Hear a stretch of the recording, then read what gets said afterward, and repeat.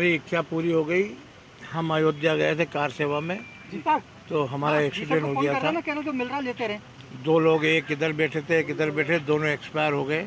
अब मैं बच गया भोलेनाथ की कृपा से भोले भगवान राम की कृपा से। आज उनके दर्शन करने जा रहे हैं।